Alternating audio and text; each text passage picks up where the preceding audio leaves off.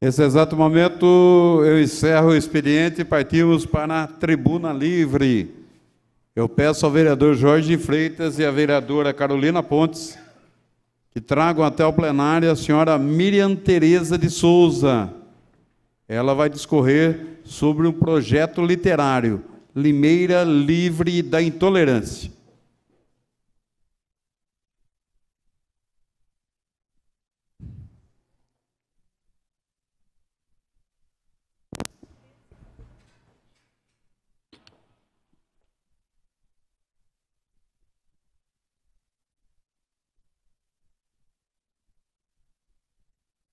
Dona Miriam, a senhora tem 10 minutos para expor o que a trouxe até a Câmara Municipal de Limeira.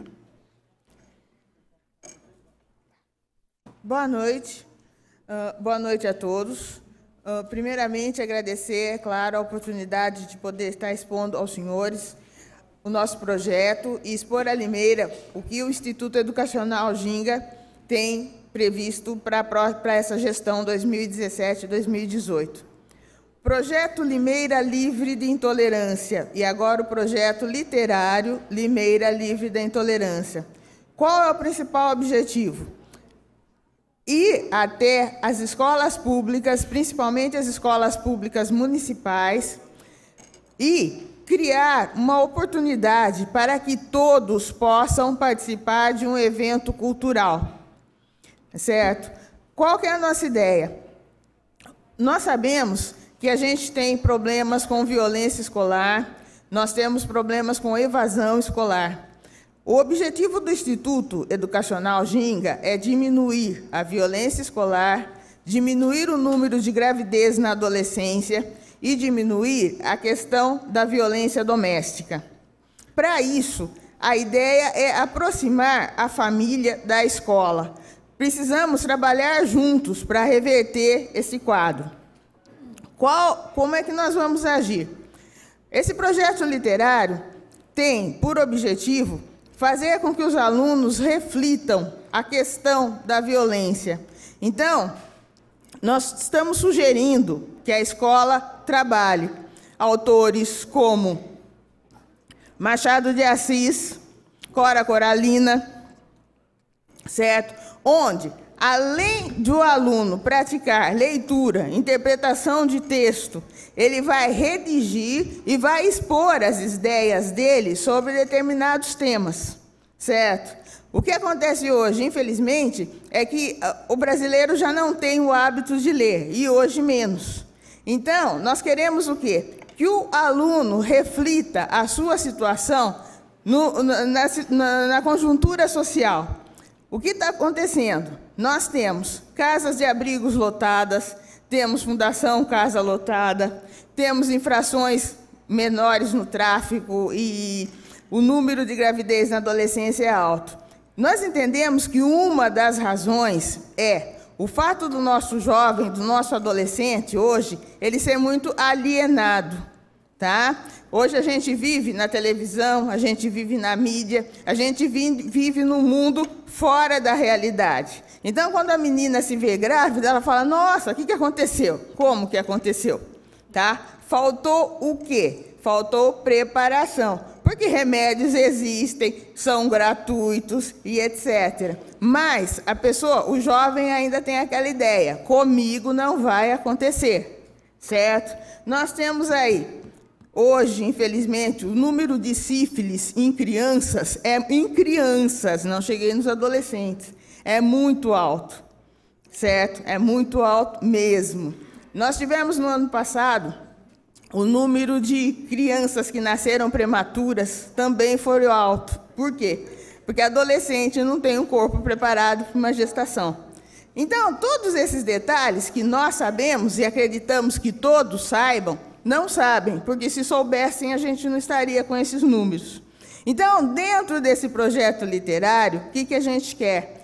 Que o jovem, que o adolescente se sente, pense naquilo que é violência, pense naquilo que é intolerância e mude a sua postura.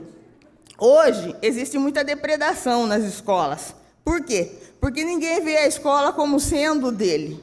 Tá? Então, a partir do momento nós entendemos que a família se aproximar da escola, ela vai incentivar esse jovem a cuidar de algo que é dele.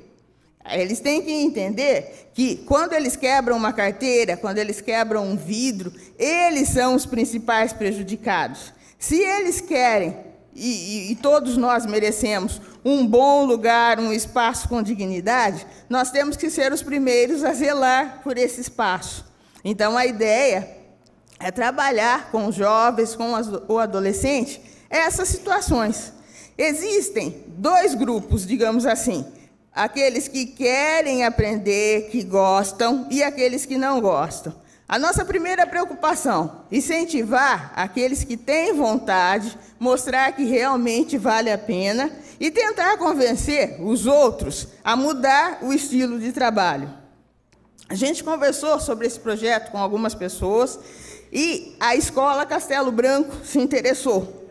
Nós tivemos hoje uma reunião com os professores e coordenadores na escola Castelo Branco e estamos implantando lá projeto literário Limeira Livre de Intolerância.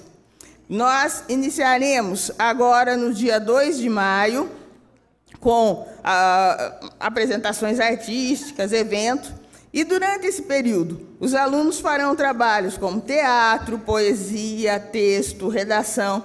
Todo tipo de trabalho vai ser aceito e vai ser exposto. Qual que é a ideia? Não é realizar uma competição, vem quem faz o melhor mas criar oportunidade para que todos aqueles que gostem possam participar, certo? Então, nos reunimos com a direção da escola, eles aceitaram. Vamos realizar o projeto já na próxima, nesse mês que vai entrar no Castelo Branco, e estamos à disposição de outras escolas que se interessem e que queiram ver esse ou um outro projeto acontecendo dentro da sua escola, com o intuito de diminuir a violência, diminuir o número de adolescentes grávidas e diminuir a violência doméstica. Existe um outro trabalho que a gente está fazendo ligado a esse, é, que é um informativo online que foi criado. O nome é www.atitudelimeira.com.br. Qual que é a ideia desse informativo? Geralmente, as pessoas estão acostumadas a se ver na mídia de maneira negativa. Houve um roubo, foi no bairro tal. Uma apreensão de droga, foi no bairro tal. Aconteceu qualquer outro problema, naquele mesmo bairro. Então, o que, que a gente criou? Com esse informativo, a ideia é publicar coisas positivas que são realizadas pela comunidade, pela escola, pelo bairro no sentido geral. Então, até então, nós iniciamos o projeto em novembro. E o que, que nós fizemos? Nós temos mostrado, mês a mês, a história de Limeira pelo ponto de vista do cidadão negro. Então, mostramos a participação do cidadão negro na construção da Igreja São Benedito, mostramos na Igreja Boa Morte, tá? mostramos famílias negras que, que fizeram parte, fizeram e fazem parte da nossa história. Qual que é a ideia? É mostrar um outro lado da vida que não está sendo explorado pela mídia. Então, nós queremos o quê? O adolescente negro, a criança negra, olha aquele informativo e vê que alguém como ele consegue ser bem-sucedido. Ele vê uma referência positiva e ele olha e diz: Não, eu também posso ser assim. E agora, no mês, ah, agora a partir de maio, nós abrimos um espaço para as escolas, chamado Universo Escola. Esse trabalho que vai ser feito no Castelo Branco já vai ser publicado no informativo. Então, o que é que nós queremos? O que é que nós conversamos? O aluno fez uma redação, ficou boa? Querem que publique? Vamos publicar. Por quê? O aluno vai chegar e vai falar: mãe, eu fiz uma redação na escola e publicaram no jornal.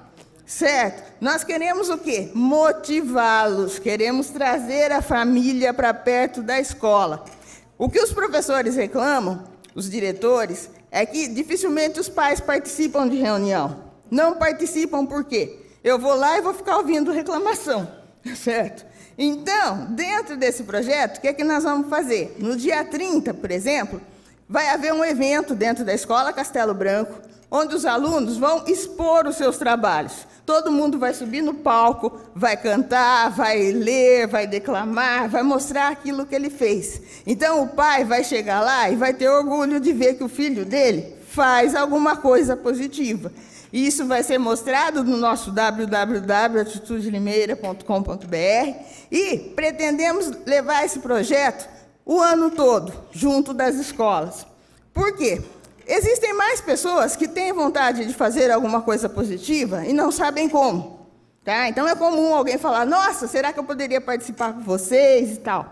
Então, aceitamos, claro, todo tipo de ajuda, todo tipo de parceria, desde que se foque a área da educação, que é o que nós estamos fazendo.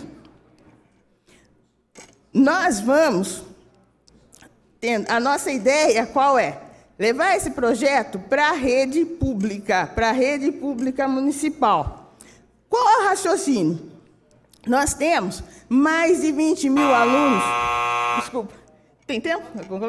Nós temos mais de 20 mil alunos na rede pública municipal e além dos professores e funcionários. Se for feito um trabalho sócio-educativo dentro das escolas públicas, a gente começa a mudar um cenário, certo? Principalmente preparando essas crianças, esses adolescentes, para viver sem intolerância, sem racismo, sem preconceito.